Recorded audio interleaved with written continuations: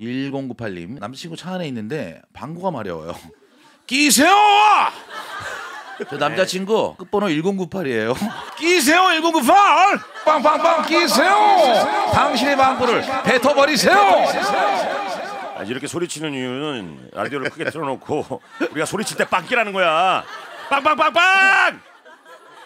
차에 부장님이랑 있는데 방구가 터질 것 같아요. 난 버스에서 방구 마려운데 참고 있어요. 자, 다들 아, 끼세요! 오, 끼세요! 끼세요! 지금 방구랑 방방 끼세요! 자, 전국에 지금 방구 매력분들, 자, 입장 곤란한 분들, 지금 라디오 듣고 분, 지금 끼세요! 빵빵빵빵빵빵빵 끼세요!